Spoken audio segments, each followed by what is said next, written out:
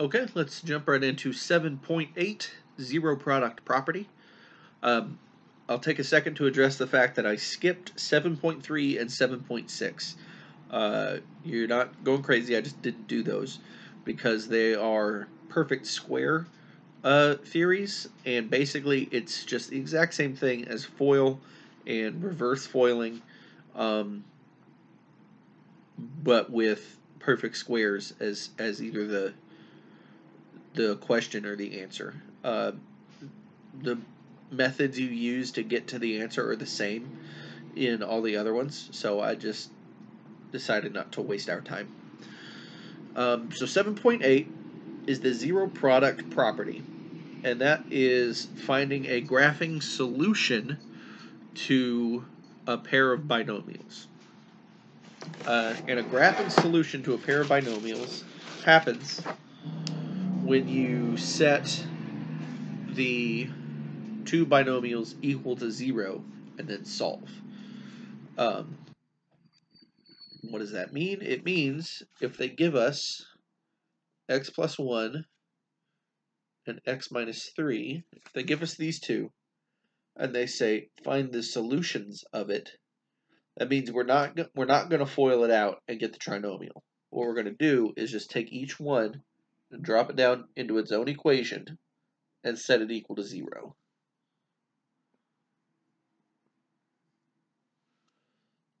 We're going to create new equations where they're equal to 0. So let's see, x plus 1 equals 0. We're going to subtract the 1, subtract the 1.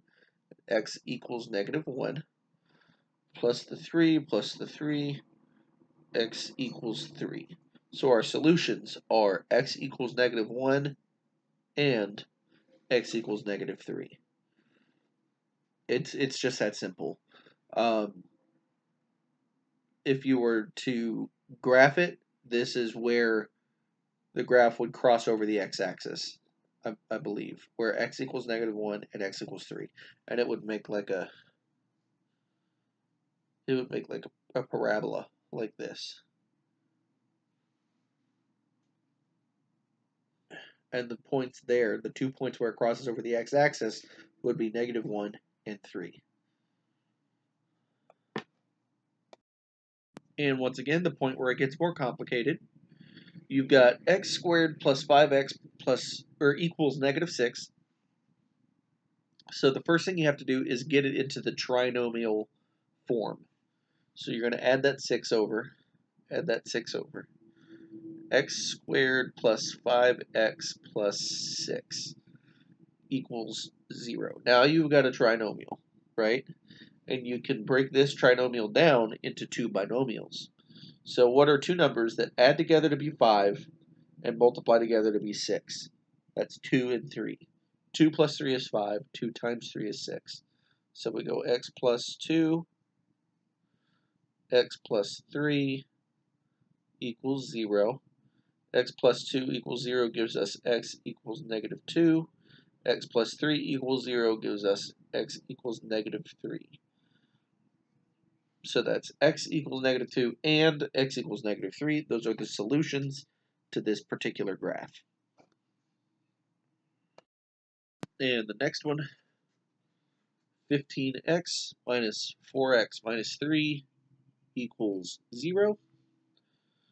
So we're going to need two numbers that multiply together to be 15. That's either 1 and 15 or 3 and 5. I believe it's 3 and 5 because I think this is the same one we did in the previous lesson. We need uh, a positive and a negative because it multiplies together to be negative. And we need the bigger number to be negative because the middle part ends up being negative. So the bigger number, let's see, there's 1 and 3.